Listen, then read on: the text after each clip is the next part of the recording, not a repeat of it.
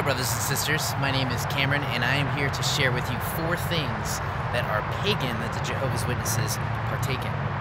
I myself, if you're new to the channel, was born and raised in the cult of Jehovah's Witnesses and shunned doing holidays, a lot of you know, practices like clinging glasses together during uh, cheers and, and, and not celebrating my own birthday and doing a lot of things that the outside normal people do because Jehovah's Witnesses said it had pagan roots.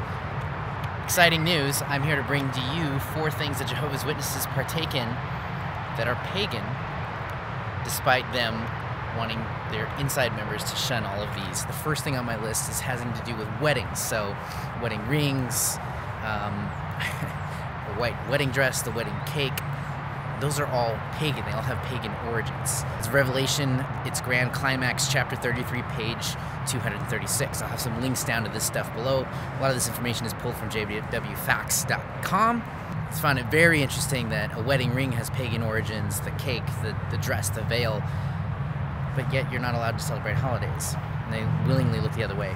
The second thing on the list is something that definitely stands out to me as being a guy is a, a necktie. I, I, love wearing neckties. I, I like wearing suits.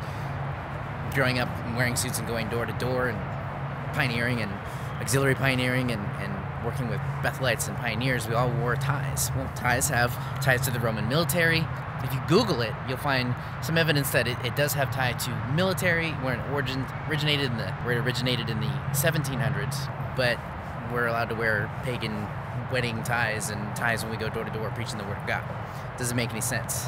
The third thing on the list is seriously go to Google right now and type in baby showers. I've talked about this before on my debunking videos about birthdays and holidays. Well, if you Google baby shower, it's a pre birthday birthday, and this has a ton of ties to non biblical churches. This is really interesting that baby showers are totally okay to celebrate, and they're showering the person with gifts as a pre-birthday birthday. And then if you also check out the chapter where uh, Jesus was born, the angels were celebrating anyway, so I have a birthday thing on that one. The fourth thing on the list, this one was mind-blowing to me because disfellowshipping, excommunication, marking someone as an SP in Scientology, uh, Mormonism, all of these cults, and only cults do this, they excommunicate or expel their own members. It in itself is pagan, has pagan roots. Does not come from the Bible. So this was introduced, I've got my notes here, in the 1940s and 50s, despite the 1947 Awake explaining the pagan origins of this practice. In the Awake 1947, January 8th, page 27, it quotes the Encyclopedia Britannica saying, Excommunication is not without pagan influence, and its variations cannot be adequately explained unless account taken by several non-Christian analogs of excommunication.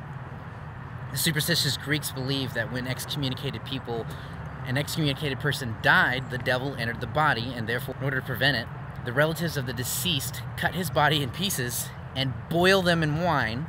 Even the Druids had a method of expelling those who lost faith in their religious superstitions. It was therefore after Catholicism adopted its pagan practices AD 325 that this new chapter in religious excommunication was written. So the next time you encounter a Jehovah's Witness and they protest that holidays or whatever custom that the governing body decides is pagan, to say something along the words like, wait a minute, I'm confused. Wedding rings, neckties, baby showers, disfellowshipping, excommunication, those all have pagan origins too. So why one and not the others? Why the double standard? Doing these videos is a lot of fun and I wanted to talk to you something that's been on my mind for a while now is starting a Patreon account. A lot of XJWs and other YouTubers that I look up to that are outside of the world of cults and survivors and activism have Patreon accounts because number one, YouTube is really cut down on the monetization. And number one, yes, my videos are monetized. And I was hoping to make a little bit of money to further my activism, you know, building a website, making PDFs so that way you guys can have conversations with your loved ones and be able to help them escape. There's a lot of techniques I've learned that work really, really well. Talking to those that come to your door or at the carts. There's a lot of information that you can peacefully talk to these people, and I want to provide it and make it available to you guys. In order to do that, I need some more support. If I do a Patreon account, would you be interested in supporting? Let me know in the comments below. I'm super excited about it. Plus, I have some other ideas of, of bringing content to you and help support the channel. A lot of this stuff is a lot of work, but I think it's worth it, and it's something that I want to keep going forward with and push the activism as far as I can and do things that have not been done before. Also, the memorial's coming up of 2018. 2017, I skipped it. I said to myself, screw it, I'm taking my time and relaxing at home. I'm thinking about covering it. Going in undercover incognito if I can, seeing the reactions of the people that I used to talk to. That'd be very interesting.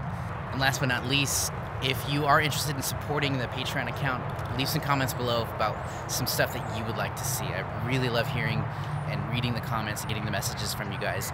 I'm also on Instagram and some social media, link down in the comments, link down in the description below.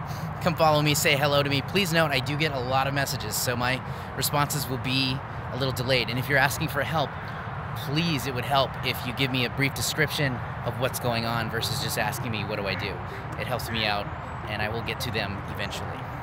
Until next time, brothers and sisters, I will see you in the next video.